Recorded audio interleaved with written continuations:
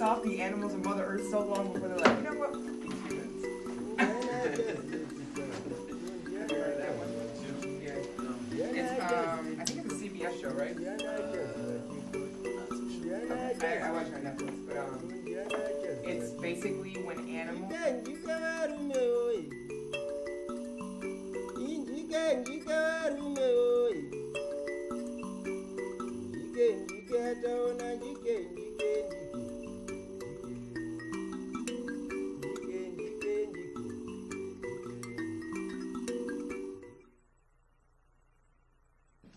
Greetings. Happy, I'm not sure if it's happy, but Indigenous Solidarity Day.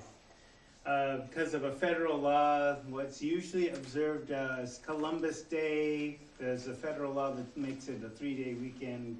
The actual day comes on, on Wednesday, but stock market's closed today, so we know if they're taking a money vacation, it's an actual holiday, right?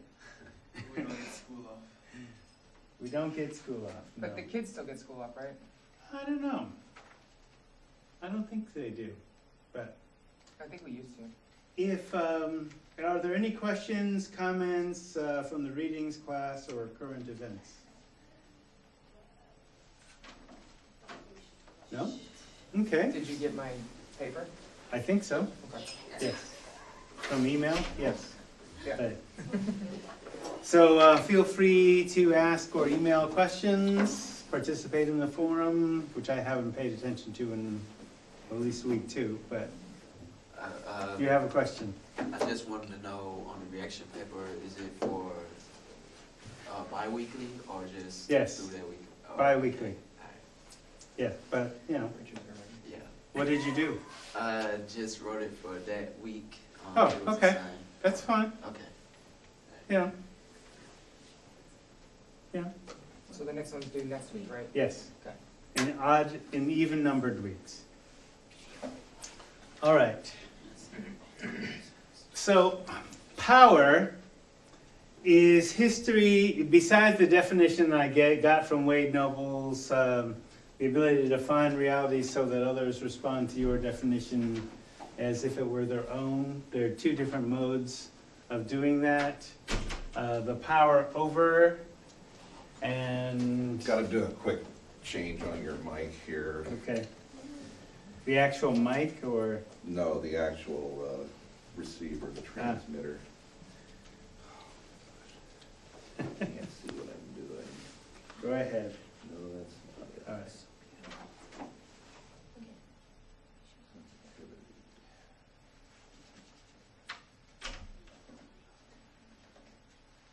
Should do that. That should do it. You'll see if you'll receive signals. So power is history that is remembered and known. So if you know discover and remember the history, then you have a certain amount of power, especially over those who do not. Um, and part of, uh, that's one of the intentions of the class is basically to fill in not only the history that happened elsewhere, but history that's happening in the moment here.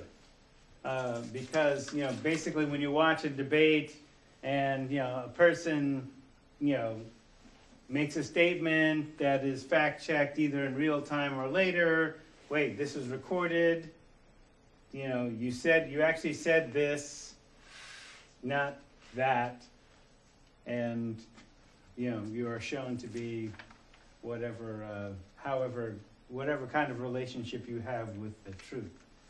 Certainly, one of the things that happens with public figures is uh, the mic is always on. No matter what, the mic is always on. You are always being recorded. And definitely with social media, that is definitely true too. So, history to a person is like memory to a people. Uh, and a people without history is like a person with amnesia. They depend on other people for their memory, which uh, could have very interesting consequences. So, my degrees are in psychology, and uh, my lineage is black psychology. So, one of the people that does that is uh, Frantz Fanon, who basically coined uh, a term called socio structural violence, which we'll get into later this week or later next week when we basically uh, look at the constructs of uh, what isms are, particularly uh, the literature around racism because Western psychology doesn't acknowledge that racism exists. It doesn't acknowledge that sexism exists either. So basically, systematic discrimination is essentially caused by not only people's thinking, but people's laws. So when Fanon said, colonization is not satisfied merely with holding a people in its grip, and emptying the native's brain of all form and content. By a kind of perverse logic, it turns to the past of the oppressed people and distorts, disfigures, and destroys it.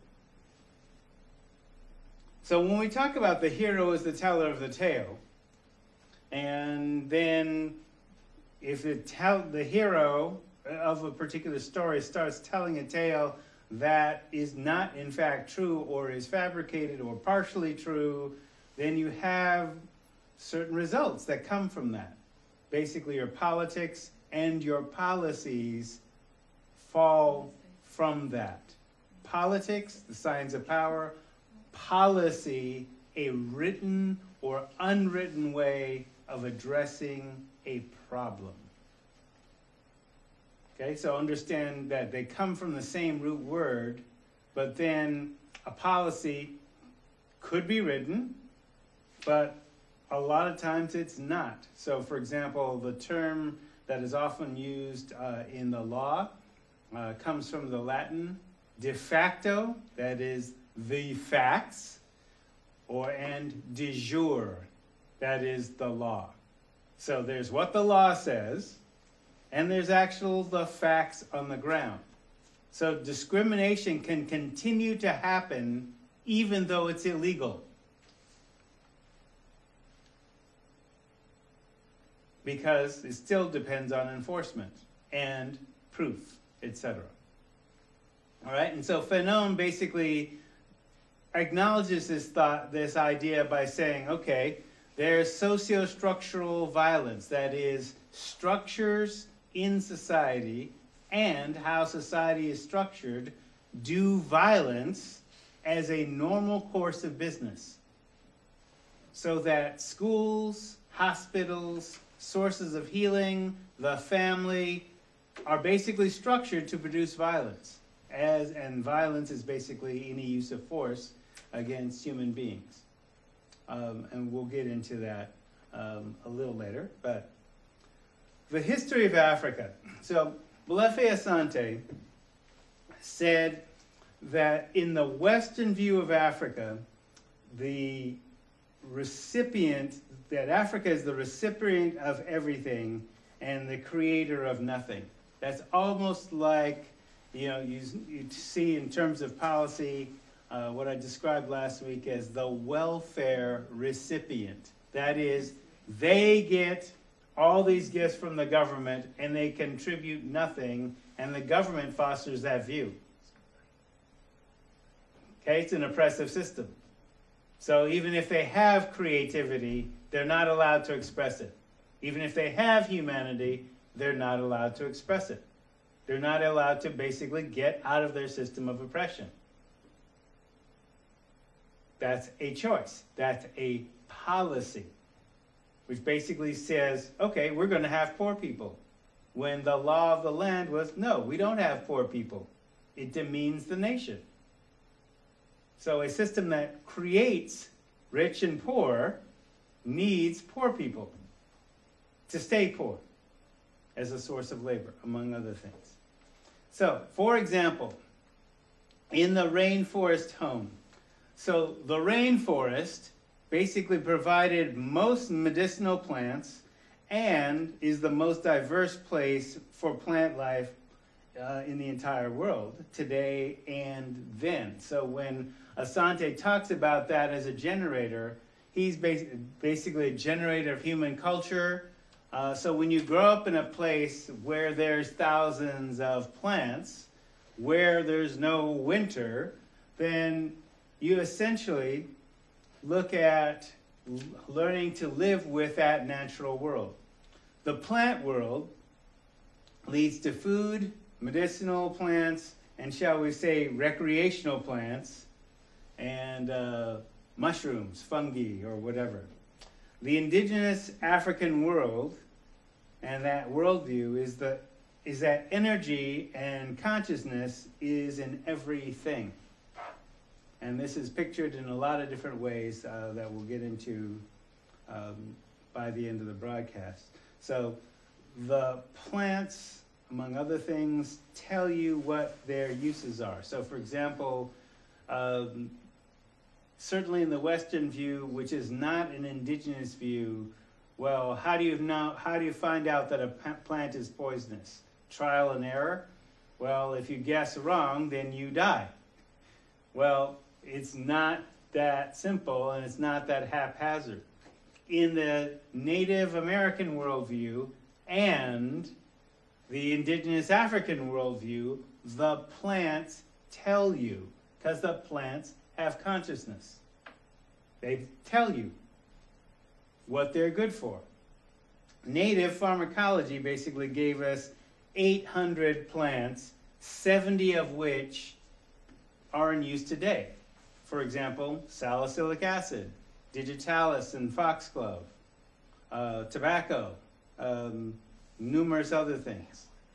Marijuana, but marijuana was known planet wide wherever it grew because it's a weed. So marijuana was also in Chinese and uh, African, Egyptian pharmacologies. Russian. Russian, I mean, it's a weed. Yeah. Grows all over the place. So Aren't a lot of pharmaceutical drugs have a plant base to them? most of them do.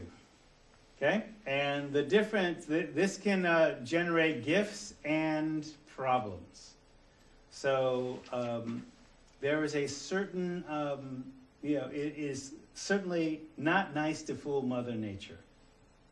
So, for example, I'm going to go into Sankofa birdwalk. So, Sankofa is a African principle in which you go back and fetch your history. So, Sankofa birdwalk, based on that question, all right? Two native plants, coca and marijuana, all right? So, coca originated in uh, South America. The natives that cultivated it, because it's fairly nasty plant, uh, it's an alkaloid.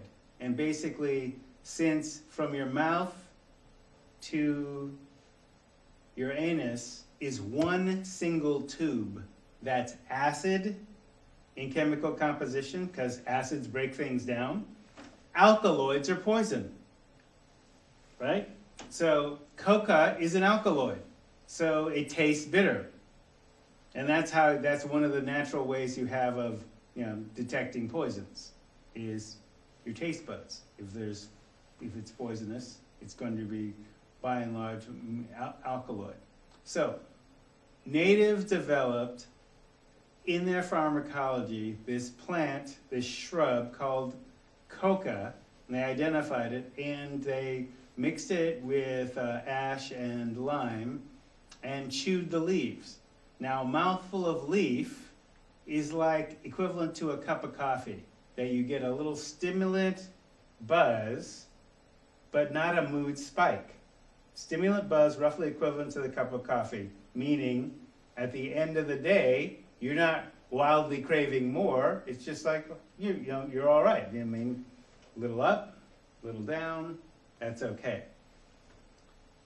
It takes a thousand pounds. So basically, you can't overdose on coca leaf. It's nasty. So you actually have to physically eat a whole lot to overdose on it. And you couldn't basically overdose on the natural plant. Well, it takes a thousand pounds of leaf to make a pound of cocaine. So even if you do one or two lines of nose cocaine, that's equivalent to doing several hundred pounds, or at least dozens of pounds of coca leaf at once, which you could never do naturally. Right? So, doing lines of cocaine, crack cocaine, injecting cocaine produces a mood spike. What goes up must come down and becomes highly addictive because you're trying to repeat that high and because you don't ever get as high as you did the first time, you run into a problem. Now, with marijuana, for thousands of years, basically people did, dealt with 1 to 3% THC, and CH, THC exists with CBD, another constituent of the plant, in a 1 to 1 ratio. So you would occasionally have uh, basically THC from the plant's point of view is to basically get rid of funguses and mold and things like that. That's it's a fungicide. Now for us, it resembles a brain chemical called anandamide, which internally is used to basically deal with pain, produce pleasure, etc., etc. Um, so what we've done basically is take the plant and cultivated it for high THC beyond the natural level of the plant using cloning technology. So that when you go from 1 to 2% to 25% plants to shatter, which is like 80 to 100%, you basically produce effects similar to crack cocaine, which now we've only based, well, we're not studying it, right? So people are experimenting on themselves. Who knows what the effects are, except that, you know, I've observed the effect with people who are chronic shatter or oil or whatever smokers, and uh, it doesn't look promising. But keeps me in business as a drug counselor. All right. So back to slide, thank you. So the tale untold before Columbus. So last week we were looking at rites of passage and what Chancellor Williams called uh, the African Constitution.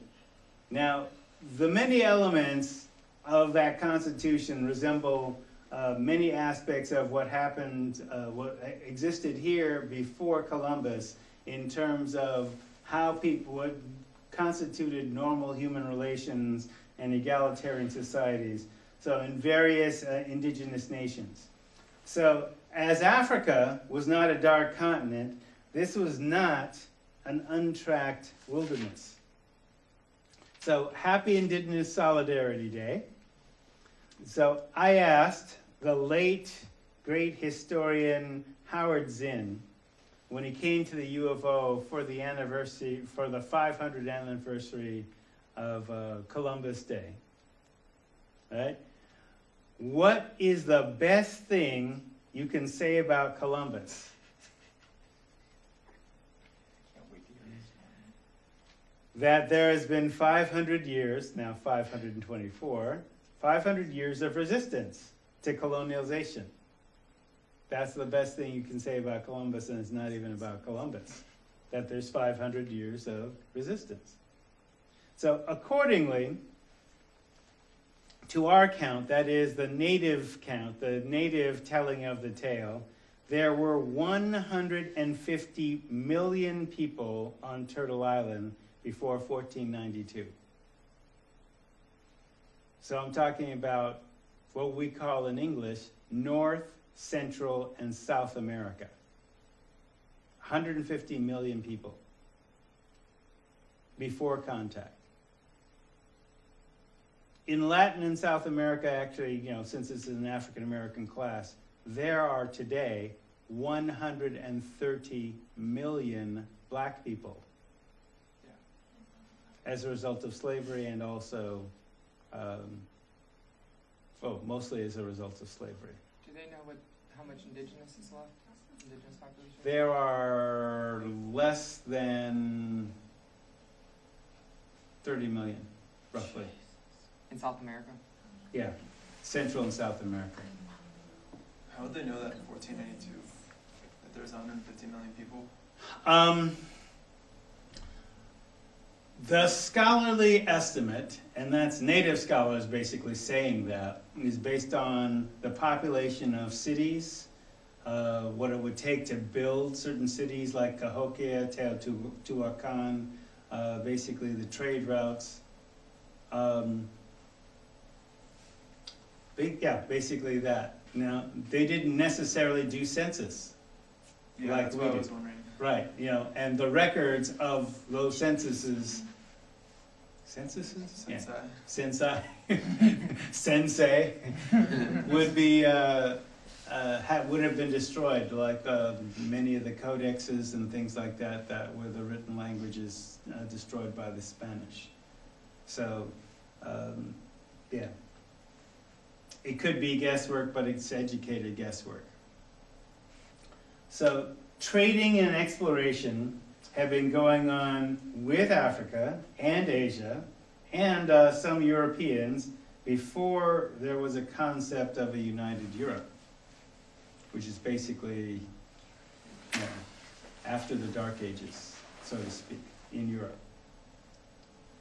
So, the process of reducing the population at least to at least 50 million Native Americans to three or four million today, that's in the United States, is the equivalent of one 9 11 every day for 54 years. Fun with a calculator. So if you use the figures many natives agree on, 150 million, for North, 50, Central, 40, and South America, 60 million, then it's 1 9 11 every day for 137 years. So we can definitely see from the records that, the, to the degree that the records were kept by the Spanish and other colonizers themselves, um, even if you say, well, I'm going to lower the number to make myself look bad, even though it's bad. Partly, partially, that's how they get those numbers, but you know, if somebody, if the hero is the teller of the tale and the, the the teller of the tale is genocidal, they're going to minimize their genocide, and the victims, of course, are going to counter that by saying, oh, well, it was bigger than that. Somewhere in between is the answer. But I would say that it's at least 150,000 based on what was happening here, and definitely 50 million based on what was happening in North America. Uh, the Indian Wars were effective, and they actually haven't stopped so much. So the Indian Wars continue with Standing Rock, uh, the Columbia River, which is basically our own um, Standing Rock, if you will, uh, Lake Shasta, the Winnemem Wintu, etc. Where's Lake Shasta? Lake Shasta is in California. That's- It's that's formed by the Sacramento River. Is that the one that Nestle's pumping all the water out of? Uh, they're trying to do that nearby. Oh, I know about that, but I mean, Lake Shasta, that's the one that they're. Lake Shasta was basically created by damming the Sacramento River to basically flood that lake and flood the traditional homeland of the Winnemem Wintu, whose uh, sacred, one of, Mount Shasta is one of their sacred sites, as well as uh, some of the land that they do around, um, uh, well, what got buried under a lake, essentially. So, desecrating sacred sites by destroying burial sites is not a new thing. Building Wall Street on the graves of African slaves is also desecration, which we'll get to when we get to that time period.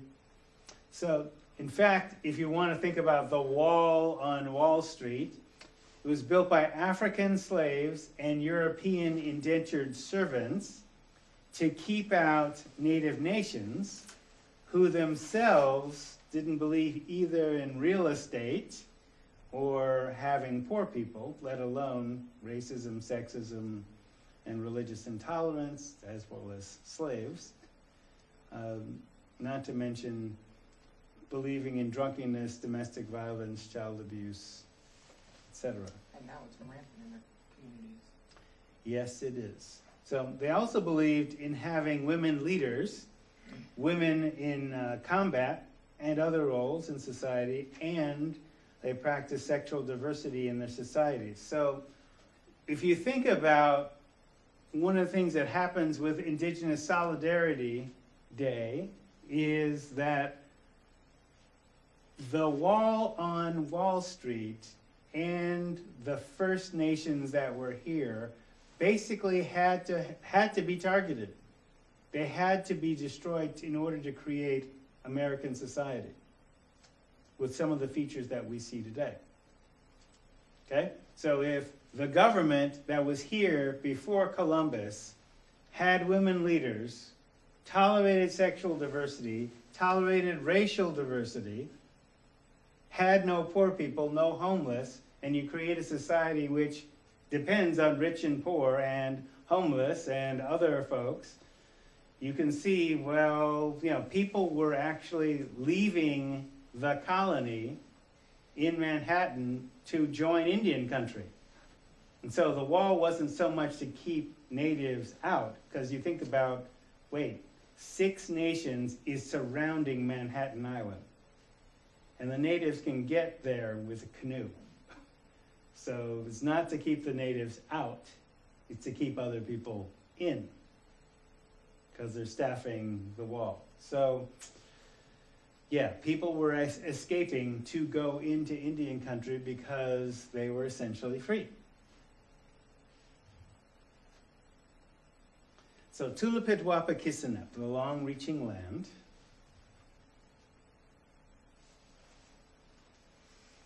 The indigenous name for North Central and South America, also known in Alkebulan, Africa, as other names such as Atalanta, which means water and metal in Comedian, and the Circuit of the World, as you know. So the alliance between Alkebulan, Africa, and Tulipitwapa Kissinep, Turtle Island, predates Western civilization, let alone Columbus. So trade in genes, technology, art, and spirituality occurred.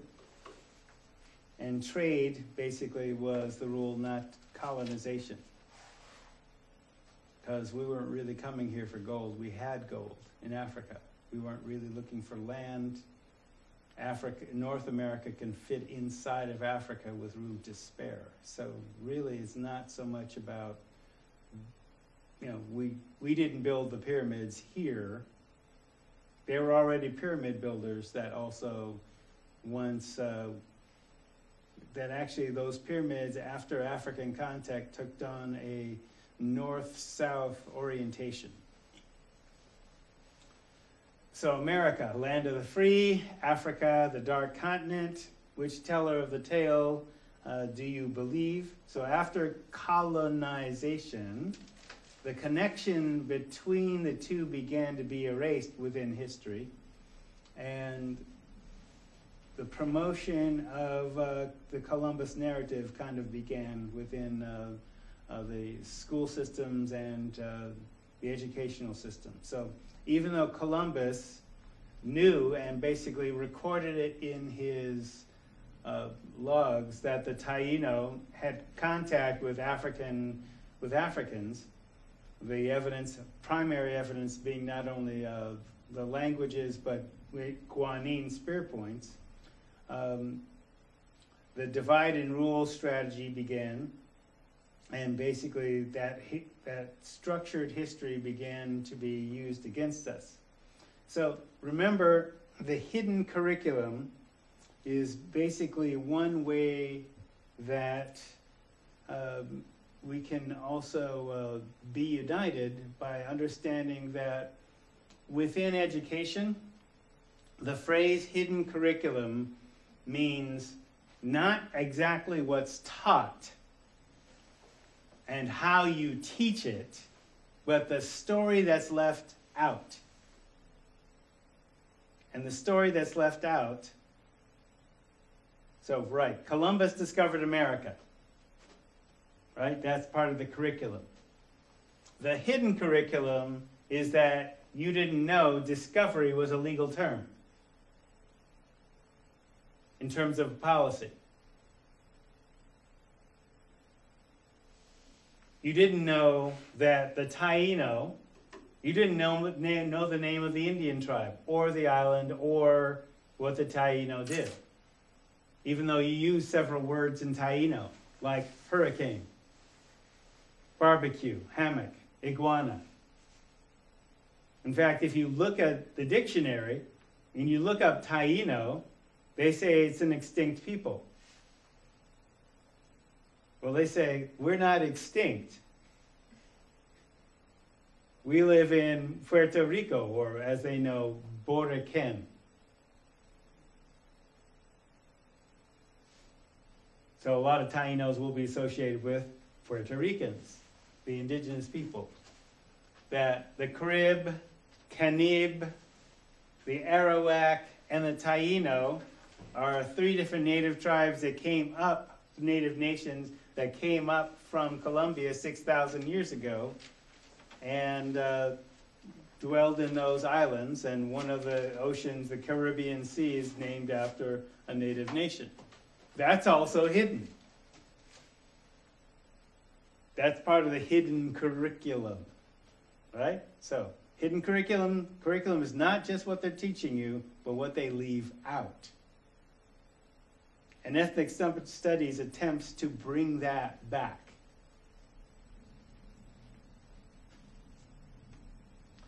So these trade routes, and we're just looking at North and Central America and Mexico. Uh, without going into a great detail, because this is not a Native American class, but basically it's Indigenous Solidarity Day, and I would be remiss this is part of our history. This is part of our black history, because as Malcolm X once said, one third of black America is mixed with native. Because when we would escape slavery, the rest of the country is Indian country. And we'd go out west. Where, of course, we'd mix with them. Because we had an ancient alliance with them. So, for example, abalone shell was traded for turquoise, straight across. Dentalium shell, which is a little thin shell that basically lives 60 feet down, so you actually have to dive for it. That was used as money. Um, salmon was traded for animal pelts. Copper for stone tools and stone cutting tools. water, metal, wood for weapons, clothing for building materials or building techniques, feathers, and turtle eggs. So, for example, the Taino had extensive, what I guess our word for it would be aquaculture. They farmed fish, and they kept fish in pens woven from seaweed nets. They hunted sharks from canoes by jumping on the sharks with a knife. So when Columbus said, "Oh, they don't know anything about war, we could make them great slaves," uh, no. People who jump on sharks are not exactly going to be pushovers.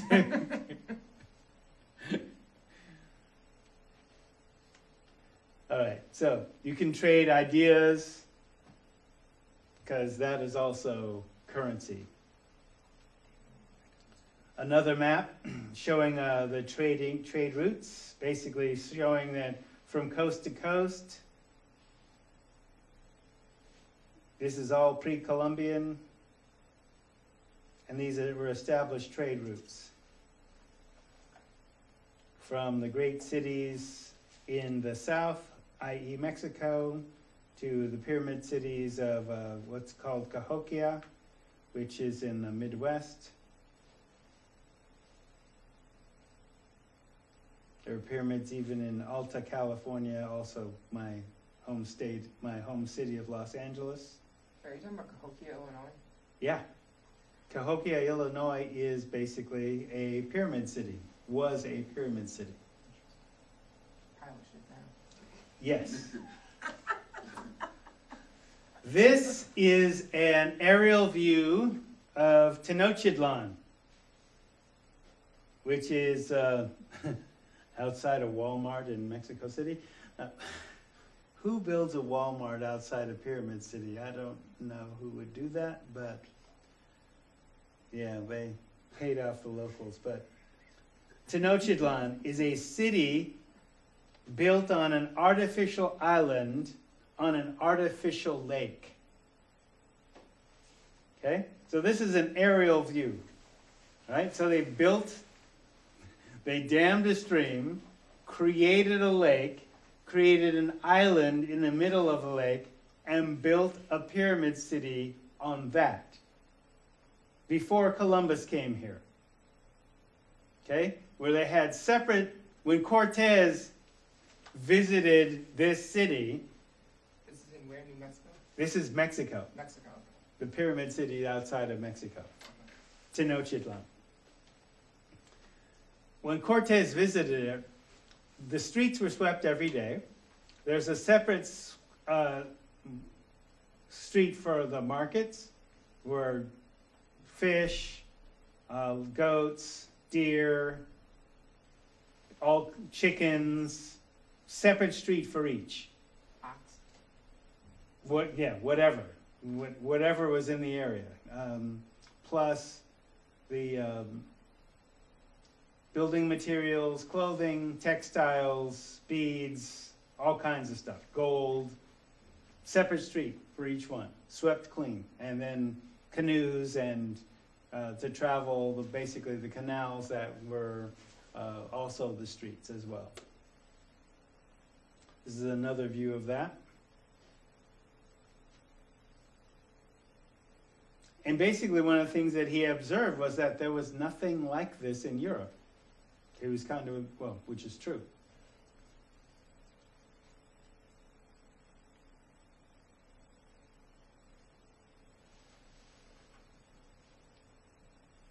And another view like that. Does this still exist? Parts of it does. But, you know, if you build a Walmart outside of uh, this, what's going to be left? You know, I was in Tulum, certainly there are Mayan ruins and things like that. And, you know, there was a pyramid allegedly on Ventura Boulevard, so that was torn down to make Ventura Boulevard in Los Angeles, so.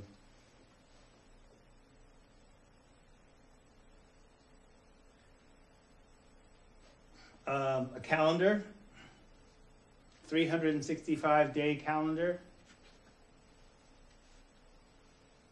I don't necessarily have the interpretation for it, but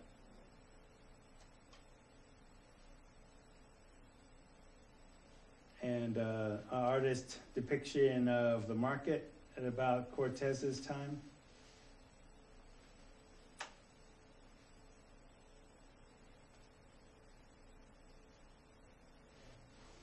So, celebration of Indigenous Solidarity Day is basically to acknowledge that uh, there was a history here before 1492 uh, that should be remembered and recreated to the degree that we can uh, recreate that before it disappears or before we disappear.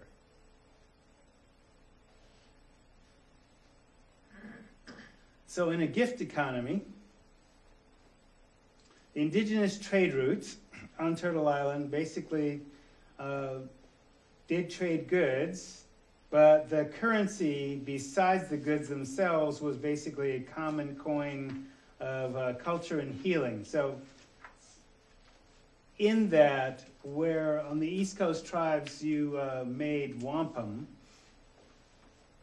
uh, in a gift economy, you give a gift that enriches the spirit of the receiver, and the receiver also has to respond in kind with a similar gift of equal or greater value. Um, they have to reciprocate with that gift.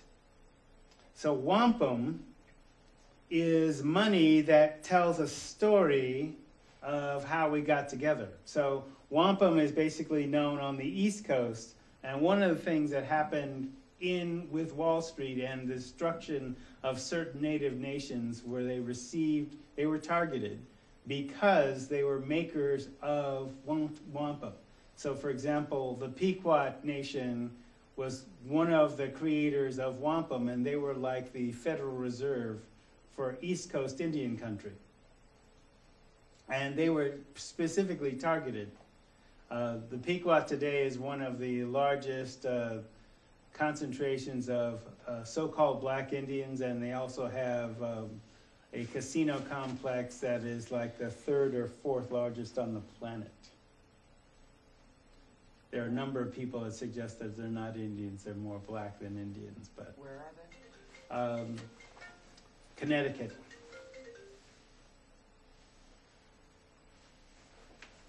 All right, so not, so I'm going to skip the, over this uh, wampum, but just to show that it's here and will be on uh, the Moodle site later today. But basically, just looking at the graphics, uh, this the raw shells made from clam shells, which are basically then made into beads, which are then woven into basically a story. And so the money isn't just the physical object, the money is the concept of the story and how you keep a nation together.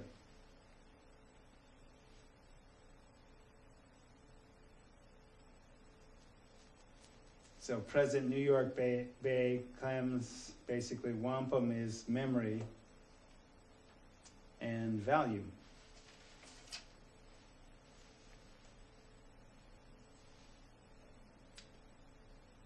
See. All right, the concept of money. Uh, money is a medium of exchange. When I talk about frog skins, greenbacks, wampum, cowrie shells in Africa, the idea is that money is a is uh, from uh, a study of uh, from the Western view, it's surplus work. That is, it's work you do beyond your personal survival. Building your hut basically is personal survival, or your shack, or your teepee, or whatever it is you uh, live in. Um, gathering your water, your own personal water stash, tending your patch of ground, your garden, hunting game, repairing your nets. Basically, that's work that you do yourself, right?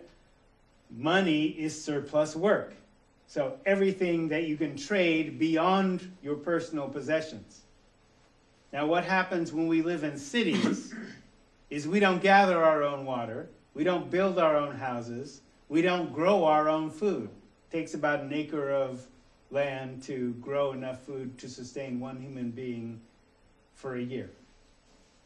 Okay, so if you don't grow your own food, your own house, electricity, water, all that other kind of stuff, you have central, cent- central infrastructure that pays for that and money, the medium of exchange to make that happen. And that's kind of what we've done here to be civilized and live in cities. Is we give up that capacity to be self-sufficient and dependent. All right? So if you have no nets, patch of ground or for food or whatever, then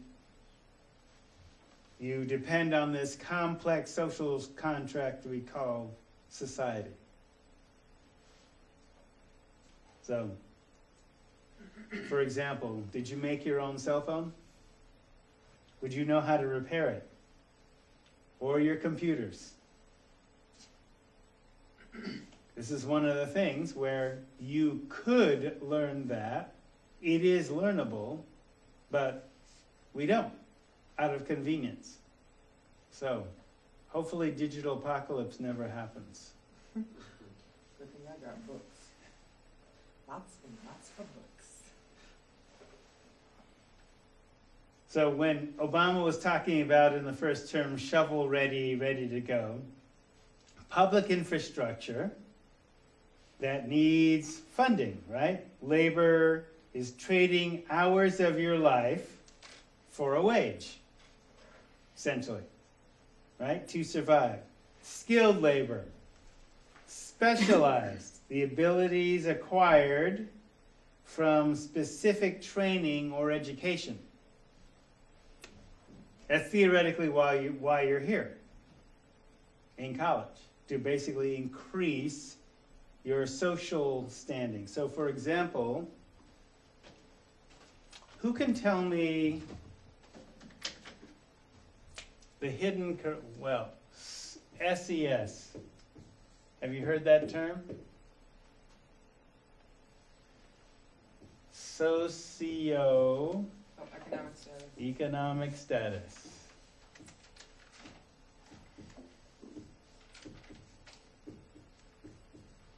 What is that? Where you are in society, if you're lower class, Okay, where you are in society. middle class, upper class, Mm-hmm. one percent. Okay. Well, yeah. One percent lower class, middle class, upper middle class, the one percent, et cetera, et cetera. Your strata of society. Your caste. your caste, even though theoretically we don't have a Yeah, we system. Yeah, we do. We do. We do. And so, for example, um, I won't exactly call it a myth, but how you raise your status used to be fixed in societies. If you were born, born poor, you were always poor. If you were born noble, you were always noble. And America was basically okay, we're not going to have a president that's going to be a king. we're supposed to not have a caste. So, socioeconomic status, the hidden curriculum behind this concept is that your status in society is based on your education and income. And then your occupation.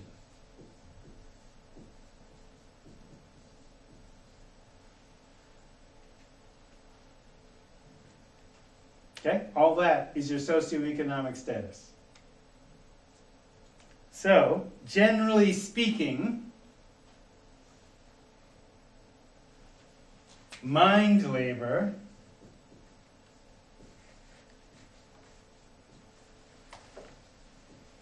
is valued over physical labor.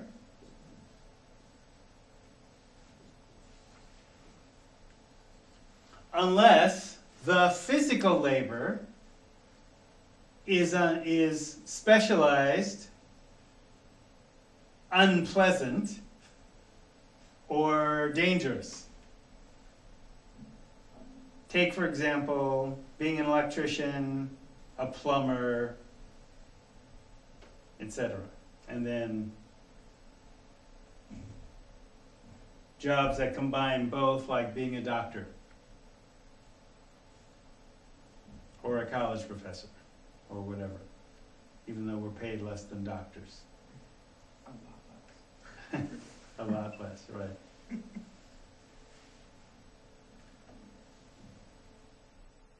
So, the reason why I was going on this is all right, if you create a society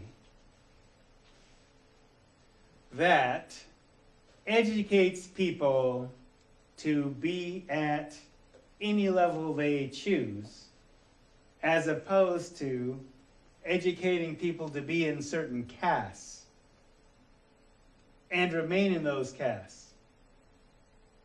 Okay, so Fanon would say, and Martin Luther King said, poverty is violence because there's a choice to educate people or to not educate people. Right? So if you want to change your strata of society, then one of the things you do is okay, you educate yourself for a certain level. That means looking at kind of the hidden curriculum, the story behind the story, and understanding what do you need to know for the strat- strata of society that you want to be at and exist at before you get there. And how would you do that? That's not necessarily part of the curriculum. They don't tell you how to beat the system. But at least telling you that the system exists and that there's strata in society. That gives you a tactical advantage.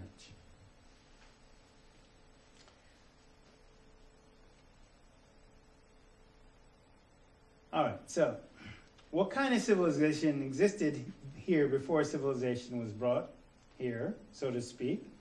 How do you make humans more civilized? You learn them young and systematically, and you don't depend on a state to do it. Okay? But a state can emerge from it. And that was part of the central lesson of going back and teaching you rites of passage and then the African Constitution. Because when you look at constitutions worldwide, like look at our Constitution and say, well, next term we contrast and compare our Constitution with the South African Constitution, the current post apartheid South African Constitution, and look at some of the differences and some of the similarities. Because uh, a couple of days ago, students um, protested about the rising cost of tuition in Johannesburg, and they were met with tear gas and It's been a lot of violence. Et cetera, et cetera. Around, education. Yeah. And who can get it and who, and what languages it's done in and all sorts of stuff. Yes. So, in uh, the images uh, that I'm going to show you from Al Kebulan, from the Tassili paintings to Great Zimbabwe, let's say the people of Al Kebulan, no strangers to complex urban civilizations, and using the current definition of urban, which is about 250,000 people. So, Eugene is a metropolitan area, Portland is urban. Because Eugene's only like um, 160, 80. maybe the Eugene Springfield area might be urban, but not quite yet. We don't really think of ourselves like a big city. But Portland is definitely the big city, all right? So using that definition, Europeans reported villages with as many as a hundred thousand individuals when they made first contact with Africa in the 14 and 1500s. So 6,000 years might have passed before the raising of pyramids in Kemet. So, for example, when we look at these cave paintings in Tassili in northern Algeria, and that cave art that you've already seen, basically we had stopped at uh, that level. When uh, he talks about the age of iron, this is uh, Dogon iron smelting. The Dogon are a tribe in um, Mali. And basically, that iron smelting furnace. So, smelting is what you, do when well, you burn rocks, essentially, and you melt the rocks down. And this particular technique um, was basically done all over Africa and it's how you make iron, copper, by identifying the uh, particular rock that it comes from. Great Zimbabwe uh, is a city. Uh, actually, we, we have a staff, a couple of staff members. We've had a couple of staff members that are from Zimbabwe, um, and I was having lunch uh, actually even today. Uh, what would you guess that wall is made from? Fine, granite. Granite. Granite bricks. So, how do you make bricks from granite? And basically, so he, he described the process because he's from Zimbabwe, right? And, uh, you know, he. That be- one used to be Rhodesia. um, yes, right. After Cecil Rhodes. Yes. Oh, piece of shit. Yes, I had a. yes, I won't repeat the story. I'll, I'll do that offline somewhere. But uh, let's just say um, there are some colonialists that have some issues with it being uh, renamed the traditional name Zimbabwe. Anyway, um, this city uh, was basically created in about uh, 12 or 1300 AD. Uh, was inhabited until about 1500 AD. Um, and essentially, he described the process. I said, bricks, granite bricks. It looks, it definitely looks like, okay. He said the wall is basically built to last, and how you make it is you put granite in fire, just like the Dogon smelting, except that you don't, um, you, and then you pour water on it, and then it cracks, and while the rock is still hot, then you carve it into brick shape, Yep. and then when it cools, you basically place it, and uh, yeah, granite brick wall. Think about how much people pay for granite countertops. Right. And he also said basically, like the pyramids, this was not, uh, this was a community project. Okay, not slaves. Yeah, those were societies that had slaves, and we'll actually explain what slavery uh, is like. It wasn't a permanent condition in that particular. And it wasn't that brutal Region. either, right? So, the pyramid at Giza. Pyramids at Giza. uh, which were covered in limestone, which is basically since uh, worn away, but uh, the uh, limestone made the buildings uh, shine at a distance. So we were talking about the zero point, the point at the top of a pyramid, where no thing, the visible, becomes all things. So if you were going to say this uh, in Arabic, I may get in trouble for this. but I like getting in trouble.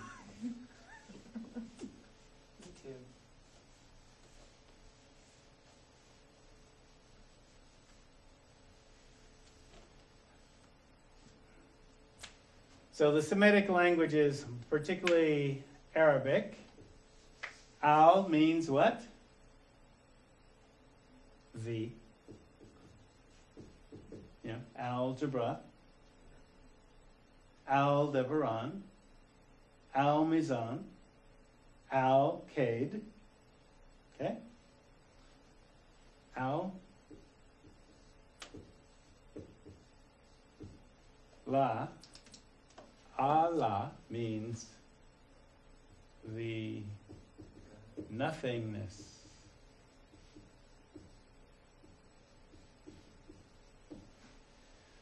And in male dominant societies,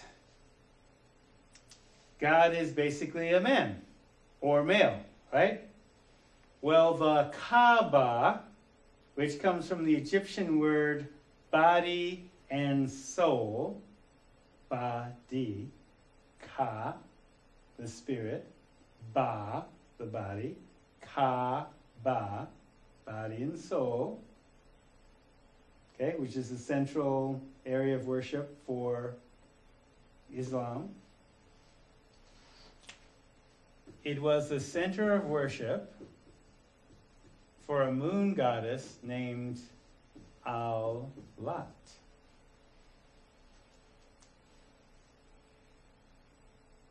Whose symbol was a crescent moon and a star, but the star isn't actually just a star, it's the planet Venus, which is feminine. Okay, and then, so, Allah, the nothingness, Alat, the manifest. Because through women, bring children. Children come from the invisible world. The nothingness, the manifest. That's where I get in trouble. Because there was a sacred feminine in Islam. Just like there was in Christianity. Just like there was in Judaism. Just like, wow, there is a sacred feminine. Hmm. There a sacred feminine in ancient Egypt? Mm-hmm. Was it Isis?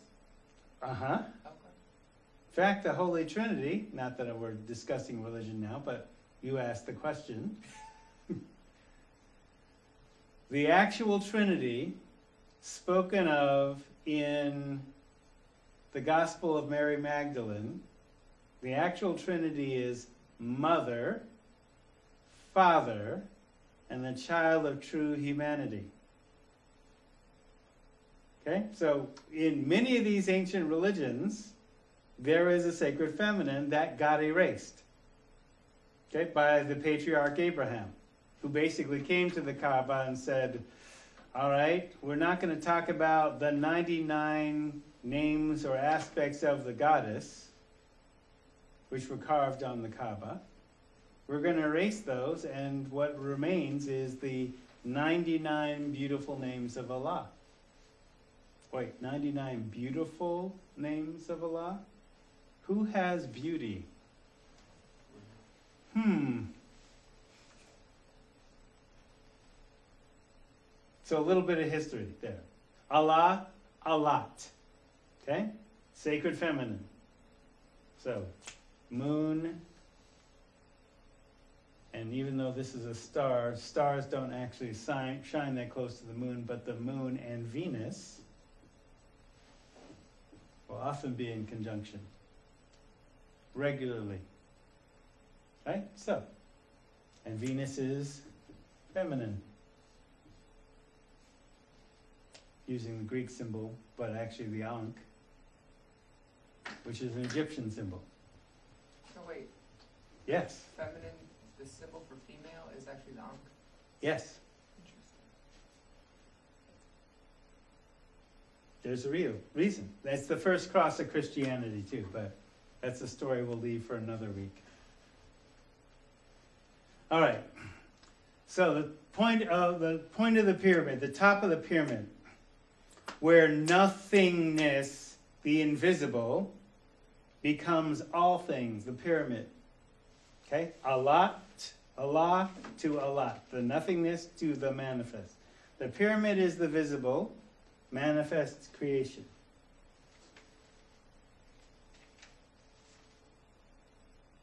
Okay, the zero point.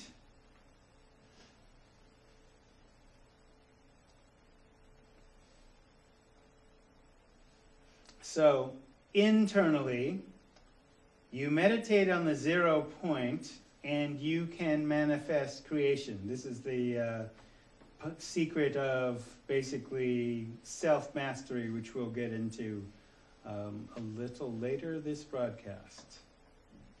So, you contain both the unmanifest and the manifest, aligning with the stars while on earth. That's part of the symbolism.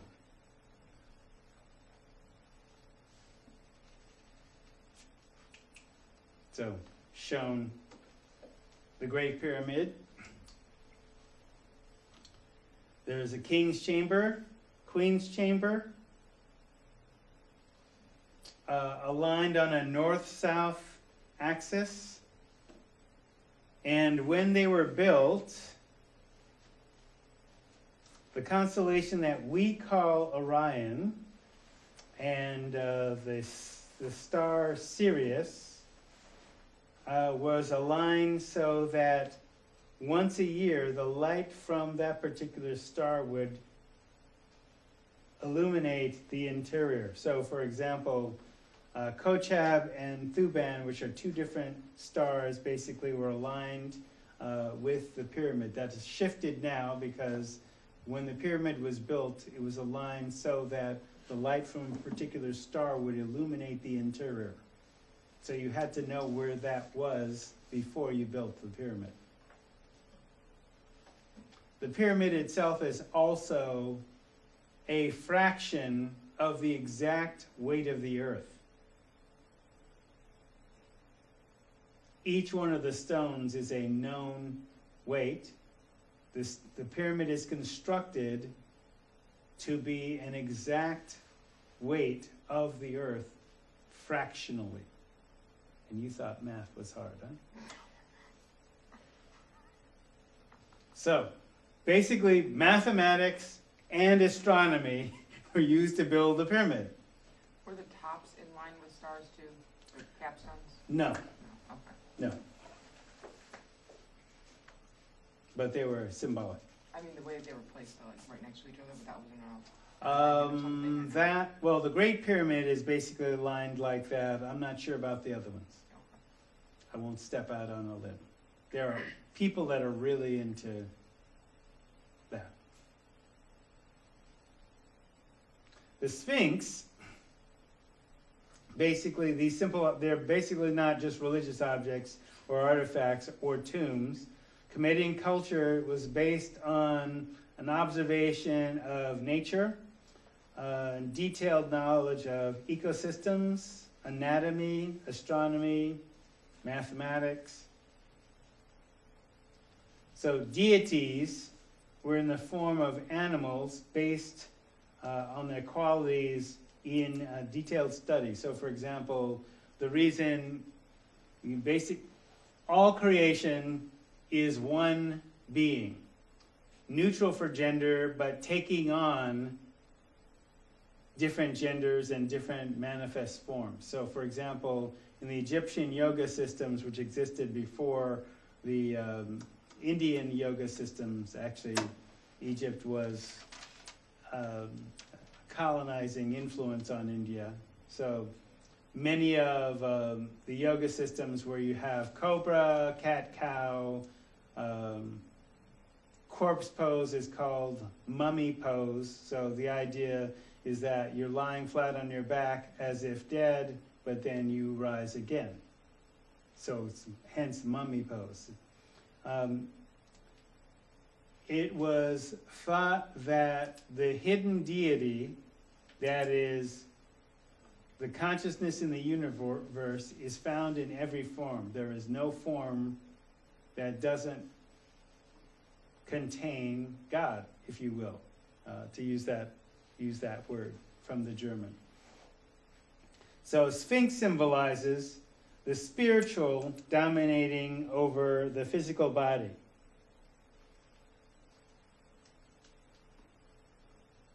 And the Egyptian hieroglyphs, and many of them were basically like parts of the eye and uh, parts of um, uh, body parts and um,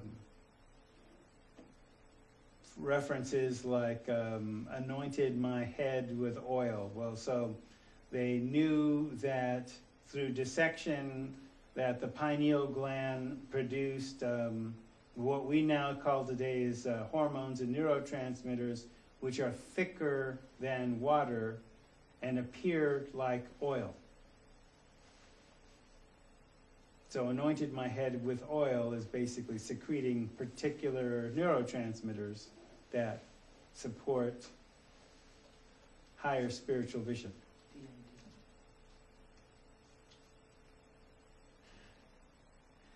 So, not simply artifacts, aligned uh, with certain stars, north south axis, passages which are designed to admit the light of uh, celestial objects, particularly, for example, Sirius, Sirius which also uh, figures highly with the Dogon people as a particular system. Uh, the Dogon had a, had a ritual that uh, happens every 54 years in which they celebrate um, the uh, passage or the complete orbit of a particular star. So Sirius itself is not one star but three. And there is a, um, let's see, dwarf star that takes 54 years to circle it. And it's invisible to, was, was supposedly invisible to telescopes till fairly recently. They found out that Sirius was a uh, trinary system. And number of stones, like I said, um, the precise weight of the, the Earth's weight, mathematically calculated. So before you can build an artifact like that, you actually have to have the, the technology to measure, apprise, and all that kind of stuff before, Well, and then to carry the stones yes. across the sand. Well, the stones are limestone, Mhm. cut by copper tools, Mhm. and then moved into place. Yeah. They said they recently just discovered that they think that horses, they had like wooden, like, you know, basically like tree trunk type things. Yeah, And they got the sand wet first because it helped roll them over the sand easier. could be. Um, in any case, they haven't uh, figured out how to do it No. here. Not even close. And it's still all just speculation. Yeah. So the archaeological evidence, because remember we're dealing with Western's Western civilizations archaeology, right? So there are no prisons and really no slaves. So the uh, quarters, the food, uh, the medical care given to the pyramid workers, because pyramid working, uh, building a pyramid was hard on your back. So they basically showed um, disc degeneration and broken legs and things like that, where the medical care that they got was similar to that of the pharaoh, basically comparing, you know, medical uh, procedures on the pharaoh, medical procedures on the pyramid workers. They were identical. So if they were actually slaves, he just used them up. But the fact that they received medical care means they weren't slaves. Um, let's see. So Cheops was once uh, faced in limestone. So ex- ex- excavation shows a diverse uh, of people, diversity of people working on them, and um, I'll show a graphic of that uh, next week when we get more into Egypt. This is uh, the Dendera zodiac, uh, so named because uh, it was at a temple in uh, at Dendera that uh, that image was dynamited off by Napoleon and then reassembled.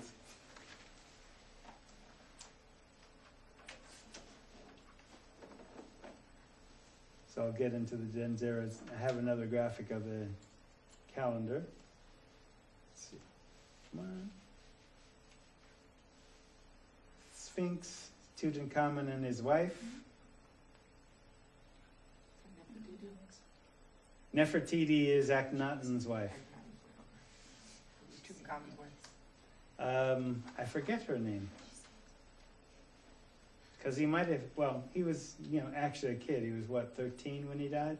Oh, yeah, yeah, yeah. Oh, that's right. Okay, that was Yeah. his mom and dad were Yeah. Nefertiti and Yeah. that's right, yeah. So this Dendera calendar, 12 months in a 365 day year, 12 zodiacal signs, dynamited off the dome of a temple at Dendera. Wait, that's on the side of the temple? Yeah, Damn. That much detail too? yeah. Wow. And I think the next graphic shows kind of without the, uh, yeah. Is that the solar zodiac? Yeah, so let's see. No, I'm talking about not that one. Yeah, the twins Different are like a like a goddess and god. Cancer is a scarab, A what? Where? scarab beetle. That one over to the left? On the, the, yeah, in the blue. I don't like that. Capricorn is still Capricorn. Uh, there's a centaur for Sagittarius. Taurus, the bull. With the moon or the sun? Is that the Dutch Taurus? Yeah, Tor- the bull is carrying the sun. Yeah. Twelve months of the year. Is Gemini the guy and the girl? Or no. Yes, the twins. Where's Aquarius, the water bear? Let's see. There's Pisces, the Oh, fish. Wait, there's the water bear. Yes, there's the water bear. The water streaming. And the Is that a- scales. Is that a llama? Oh, where? A llama? Yeah. No. What is that? Uh, I think it's a um, sh- a ram, a sheep, Oh, okay. male sheep. So that's supposed to be Aries? Yeah. Okay. Oh, wait, no, is that the scarab beetle or is that the scarab beetle? It's a scarab beetle, What? not a crab. Because crabs have bigger claws. Yeah, That's it's that other little thingy over there. It's like a bed bug or something. Well, that's the blue one. No, not the blue one. Yeah, the blue one's cancer, right? Or no? Yeah, that's blue. Blue one is cancer. Yes. Okay, what's that little bed bug The looking thing? yeah. Yeah, I don't know. Maybe that's Scorpio. It could. Oh, right. Scorpio. There we go. There we go. Okay, good. At least mine Right, was- because it has a little tail. That's what you meant with that word. It's ugly. Anyway, Dendera zodiac. So, Afrocentric is not ethnocentric. So, ethnocentric is a belief that your particular uh, or the assumption of the superiority of your own uh, social order or social or cultural group. Afrocentricity basically takes a multiple emic viewpoint, seeking to understand a point of view from within the particular culture's point of view, while having a strong understanding of what your own cultural biases are. So, in, for example, in sound, high, but when we used to use tape, high bias tape means it could capture more information. So, opposite the uh, sociology, people who have a high bias are closed minded. So, an Afrocentric approach seeks to form the basis for lasting action and social change through greater levels of justice, understanding what justice means to different people. What was that design on the previous slide? Those two bullet points?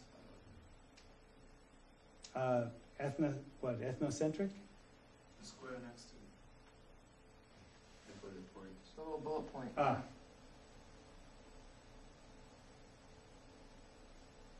But Just Afro, wondering what No, that he means. wants to know what the actual bullet point is. There's is. the design on the bullet point next to Afrocentric. ah, oh, I see. Gye Nyame. It is um, one of the Adinkra symbols. For what? Um, what it means is, um, I'll give you the full, well, let's see, where is, I'll give you the full, full meaning of it. We talked about the Adinkra symbols, uh, I think in the first week, and I'll show them to you again, if I could, well, I'll explain that. It's simple. There's sixty-five of them. Oh, okay. Okay. okay. It's an alphabet that tells a story. Um, and Gye Nyame uh, is from the um, Akan people of Ghana. And um, Gye Nyame means it's the turning of, symbolizes the turning of the universe. No one was around to see the turn, the beginning of the universe except God. No one will be around to see the end of the universe except God. So, overall, the symbol means the omnipotence of God. So, for example, sometimes it's rendered into English none except God. Okay, so no one's around to see the beginning of the universe except God. No one will be around to see the end of the universe except God. That's why you should accept God.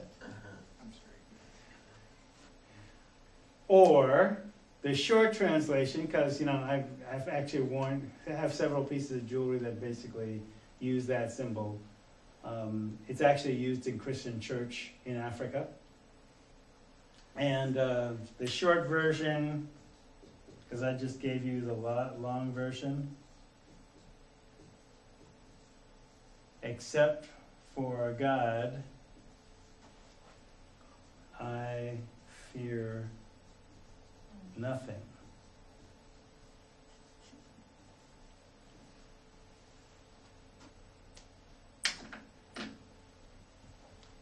And I don't really actually fear God, so you. whatever. but that's what that symbol is. I was able to con- to uh, yeah slip that symbol in as a bullet. So, so Afrocentric is developing self-mastery. So self-mastery is a prerequisite for social justice. If you don't master yourself, the work you do may be undone. It may be undone anyway, but still you do it. So why speak the truth to power if it will get you crucified, jailed, or worse? Well, that shouldn't really actually matter. If you're self-mastered, you do it anyway, because it's the right thing to do. An answer is maybe not it's just about you it's not just about you so the class is basically intended to help you um, see repetitive patterns recursive patterns in culture history the present and the future. What goes around comes around. There is a phrase come on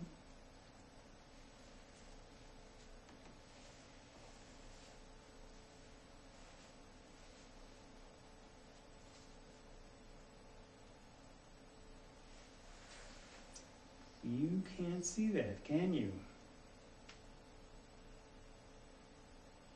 Hmm. For some reason, let me let me work on that. Because it's an important concept that you should definitely get.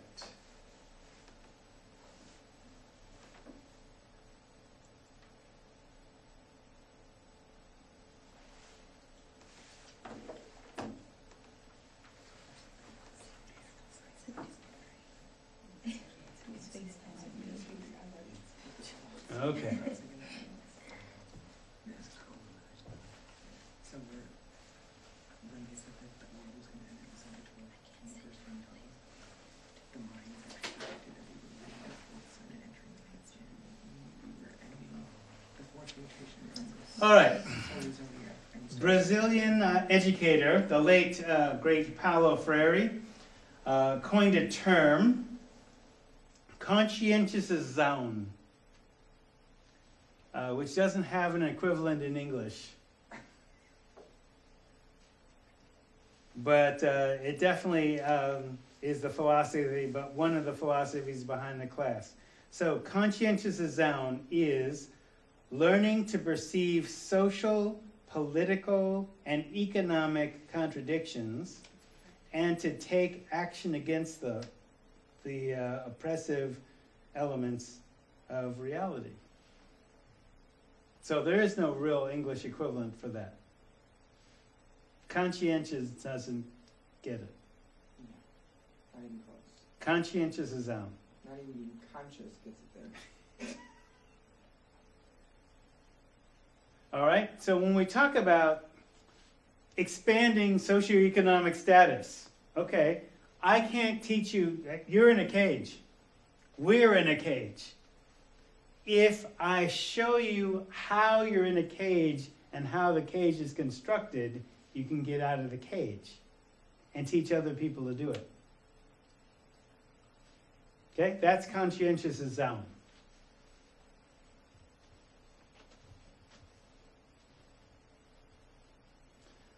Uh, Paulo wrote two books uh, that he's famous for The Pedagogy of the Oppressed and The Pedagogy of Hope. The Pedagogy of the Oppressed uh, basically deals with uh, form, the forms, the contemporary forms of education, where he says there's two purposes for education. One is domestication, to teach people to support the system and how you support the system. And basically, colleges and universities and the Columbus discovered America narrative are to support and make normal colonization.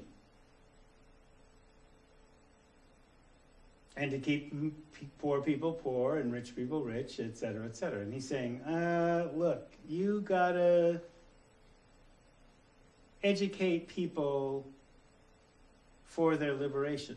And how do you do that? So he says, poor people have their own knowledge and wisdom, called by us in the United States street wisdom. You know, when you basically, you know, I'm the son of a doctor and a school teacher. So, being a drug counselor, most of the drug counselors are former addicts and alcoholics. Right? Well, I was never an addict or alcoholic, nor did I ever have to slang dope or anything like that. But I dealt with lots of people who did. And they slang dope because they were poor, many of them. Right? And they achieved a certain wisdom that you couldn't teach in college. And that's one of the things that happens when we're training drug counselors is okay, you can't teach street wisdom. You either know it or you don't. Right? So Freire is basically saying the poor people who had to basically fight for their survival have a certain knowledge and wisdom that rich people don't have. They just don't because their learning came from books. And who's writing the books? Other people like them. Who's writing books about the poor people? Not necessarily poor people. Oh, they're losers. Oh, I'm quoting Trump. Oh. No, who was a rich kid who was given millions. He never had to earn his money. He was already kind of like the 1%. They actually said he'd have more money now if he'd never spent a dime of it and just invested it than he currently does. Yeah. Trying to be a businessman. So, conscientização. Learning to perceive social, political, and economic contradictions and to take action against the oppressive, elements of reality. So, slavery. In chiefless societies in Africa before the rise of Egypt, a slave was a person who, one, could not control themselves or chose not to, and they did not heed the teachings of their elders, and they acted selfishly without honor or a sense of justice. Their physical animal nature ruled them. So rather than their divine spiritual nature ruling their animal impulses. So my friend from Zimbabwe was basically talking about in his culture, kings were slaves first. Can't know what it's like to be. Basically, like in the yeah, well, you can't know what's like the common people unless you start in the bottom. That's how you rule them. So when he's talking about, and he actually used this example, like the biblical Joseph, who was sold into slavery and then became like a king later. There were people that kind of enshrine, that. So, um, as we were talking about uh, rites of passage and the African Constitution, they were talking about in the African Constitution rules of warfare, where basically the object wasn't to kill your enemy, the object was to get your enemy to surrender. And basically, if people were killed on battle, you stopped the war and allowed them to basically gather their dead and wounded and to retreat honorably. Slaves were people who were left on the battlefield after their tribe had left because they had acted dishonorably. And this, this has its analogy with um, native nations where um, the two spirited people, in, for example, there was a Spanish woodcut that described um, male, as we would call them, gender non conforming people. Stopping the, the, basically the war would stop and they would be basically min, min, minister to the wounded of both sides and the war would stop while they did that. So the African analogy was okay, slaves have been abandoned. So, in so for example, in a conflict between nations, if it led to war,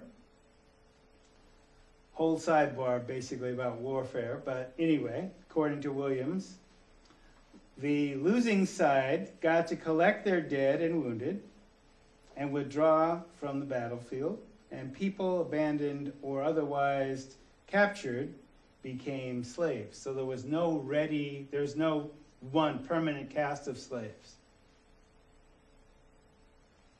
A slave, under the fundamental rights of African people, had the right to earn their freedom through education and demonstrated self mastery and they developed their self worth, their royal worth, the same as any other person.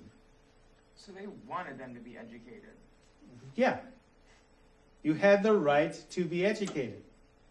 I mean, that's what I said. The, the uh, you know, uh, yeah, slaves.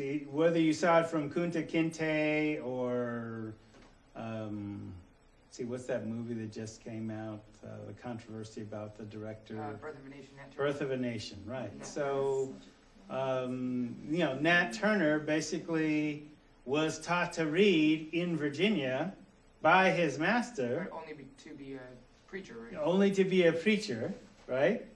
But slaves weren't allowed to be literate. Right. But some slaves were literate. But they weren't allowed to be literate in Virginia right?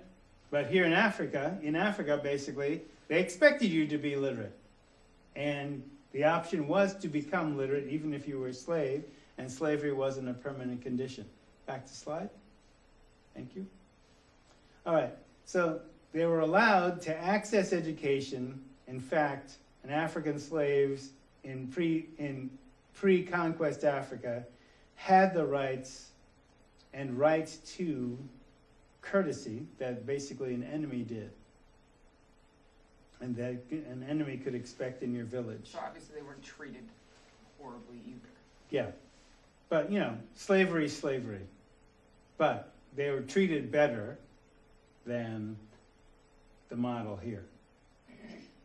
So you still had to be polite because you never knew who was connected to who and which enemy might become an ally later. A lesson that I've often had to learn here.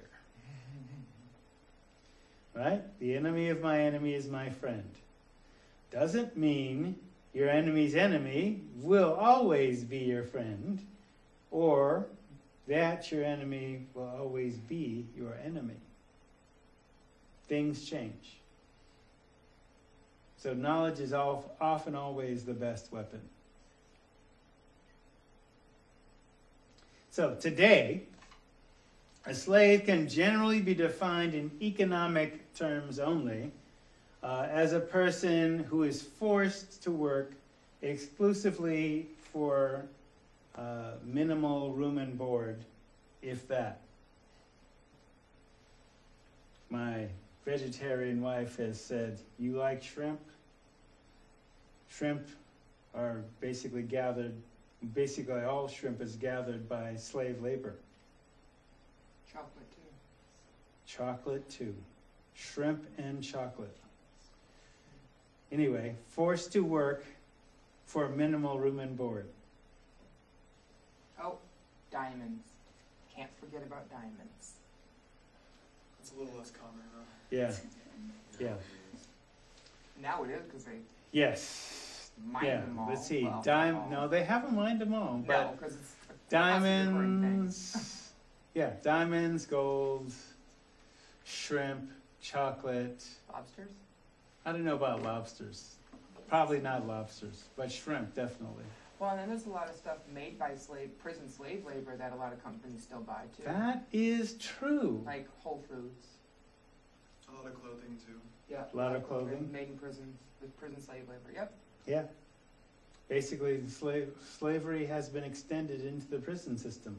Well, they wrote right into the Thirteenth Amendment. The Slavery 13th is outlawed except for as a means of punishment. The Thirteenth Amendment was written here in Oregon, but that's something we'll get to later. So generally, everything. generally one has to be forced into this condition because nobody would do it willingly. So slaves historically in Africa were captives of war. They could be any race, and it was only with uh, the European colonies in Turtle Island that uh, chattel, that is humans as property, slavery, became uh, populated exclusively uh, by one race. Uh, in the beginning, chattel slavery was natives. Uh, then it became Africans because Africans could basically survive smallpox and the common cold and other thing, other diseases uh, from that came from exposure to Europeans better than natives, having had more contact with them. Um, let's see. So, any Af- African captive of war could be enslaved. And Africa beginning is a continent where again 600 to 2,000 languages are were spoken, and so the average black African person, even today, might speak at least five languages. I've seen as low as three, but. So mastering. From uh, Chancellor Williams, basically in chiefless, chiefless societies before the rise of Egypt, the age grade system of education gave to, uh, gave to an individual the skill for self mastery, self knowledge, therefore self control, thus self worth. Then you were responsible for those younger and responsible to those older than you. And you demonstrated that mastery, self control in your daily conduct in human affairs and human relationships within a village community. And royal worth was basically greater and greater self control and the ability to unite other people through that self control. So, mastery of self, self control, and the more self worth. You could become a leader by demonstrating how to unify people, uh, their needs, and putting their needs before your own. And this is considered royal worth, not just simply being born to the king or queen. So in Africa, this was the basis for determining royal worth before there were chiefs. And but that is what a chief was, a person who demonstrated a high degree of self-control. This is pre-Egyptian. Right. So, okay. before city states. Okay, this is thought to be a spiritual quality which was then passed on or could be passed on through parents to children, hence uh, royal worth. As parents basically considered were, were basically attracting from the invisible world like children, similar children. So, of course, you still had to prove your behave as if you had some sense of your own self, and you didn't get entry, you didn't get extra points just because you're mama or daddy.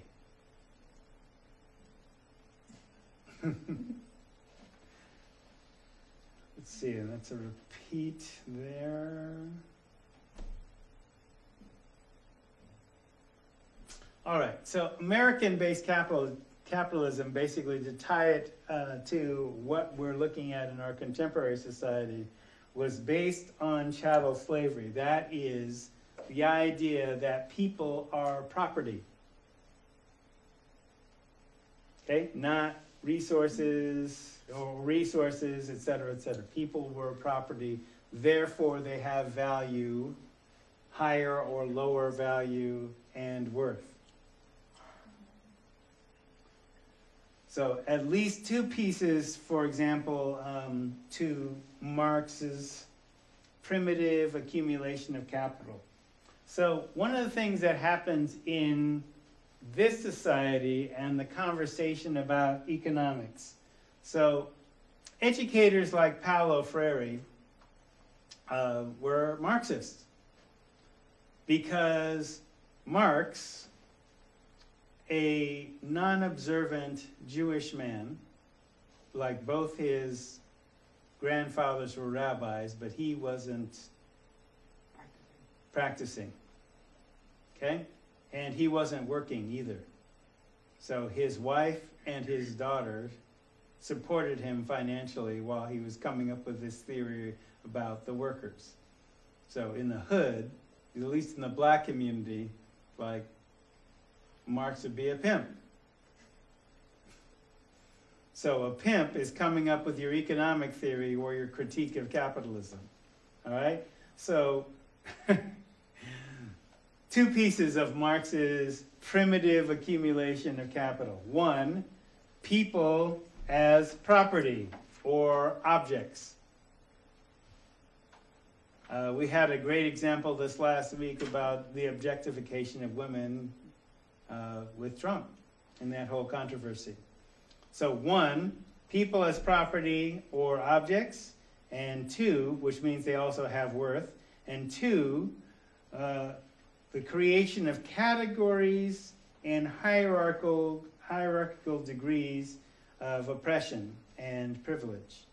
So some people become more oppressed than others, and people have a vested interest in maintaining their oppression by oppressing still others that are farther down on the in the hierarchy.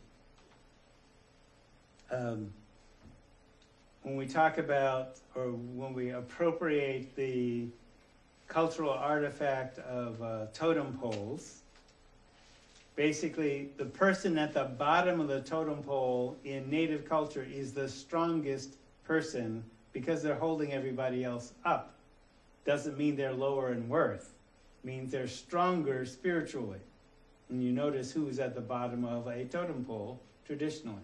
So that's not the that's not the idea. That that idea lower on the totem low man on the totem pole is basically outside of the culture looking with capitalist more views, which basically look at the lower classes as lower and the higher classes as higher. Anyway, American capitalism based on chattel slavery. That people have relative worth, less worth than others, instead of basically equal. And that having intrinsic value and intrinsic worth and a spiritual mission given to them that the culture is supposed to bring out. So, hence his uh, Marxist solutions. Basically, he didn't really have solutions. Had a great critique of capitalism, but his, cap- his critique of capitalism essentially could be spoken by any chattel slave. Hmm. American capitalism is not based on justice or it's not based on spirituality. It's not based on a recognition of human equality. So, questions? So, the solution, as um, when we look at Thank you. Two minutes. Um, when we look at indigenous solutions, and for example, Paulo Freire's conscientização, um, where if you show people the structure of their oppression, they can escape their oppression. But the educational system, if, when you're educating for domestication, is basically designed to replicate the system of oppression. Educating for liberation is basically at least illuminating the oppression and offering a solution out of it, which may not, which may come outside of the system of education. Now, what I'm doing, even though I'm being paid by the system to educate you, is saying, okay, this didn't come about by accident and there is a way out.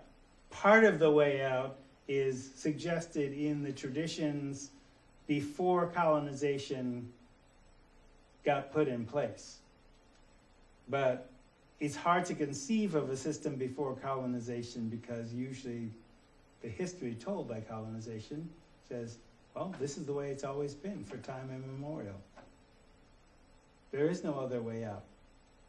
You're deluding yourself. And so destroying all the evidence that there was another way out. That great societies could be built by people who were equally educated. And that leaders could be selected because they looked out for other people and they served other people. So we'll continue this on Wednesday.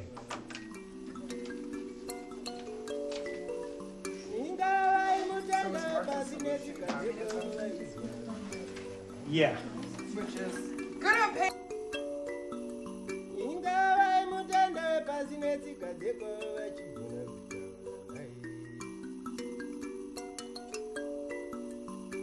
iye nhasi tozivawo mwari asika ndipo pawanda